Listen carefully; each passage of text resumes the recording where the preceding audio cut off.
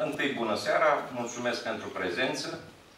Sunt surprins că colegii mai tineri, Organizația Studenților Basaraveni, nu este încă prezentă.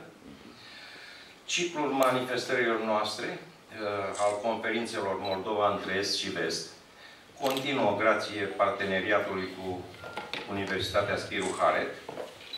Manifestarea de astăzi seară este organizată de Asociația Culturală Pro Basarabia împreună cu Universitatea Spiru Haret și Asociația Europeană pentru Studii Geopolitică și Strategie Gheorghe uh, Brătianu. Mai avem parteneri lângă mine, domnul Mihai Nicolae, președintele uh, Asociației Institutul Frații Golescu și vom începe cu ceea ce ne-a interesat dintotdeauna, uh, cel puțin Asociația Culturală Prova Sarabia și Bucovina, interesul nostru evident pentru spațiul de geneză și cultură al uh, poporului român.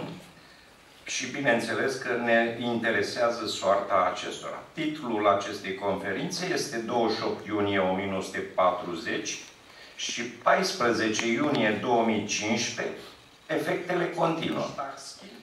Scrie, moldovenii sunt locuitorii autohtoni ai regiunii Basarabia. Vorbesc o limbă proprie, cunoscută de ei sub numele de română.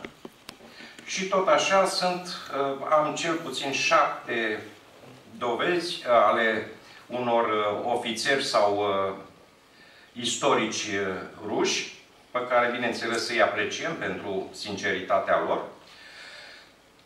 și spun asta pentru a reveni la problema care ne doare. 28 uh, iunie 1940, este vorba despre un rap. Uh, este vorba de o scânteie într-un uh, război mondial. Război pe care istoriografia rusă îl consideră războiul de uh, eliberarea patriei, dar nici de cum nu pomenește faptul că acest război a început cu mult mai devreme. Protagoniștii au fost uh, Stalin și Hitler, și asta pentru că 28 iunie era uh, o înțelegere între cei doi călăi ai lumii,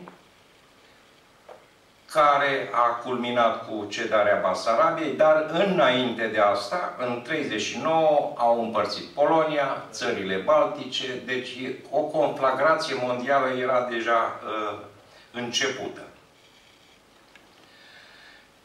Și pentru a ne edifica cum trebuie, o să dăm cuvântul domnului profesor uh, Sorin, dr. Sorin Cristescu, care ne va explica din punct de vedere istoric uh, aceste evenimente.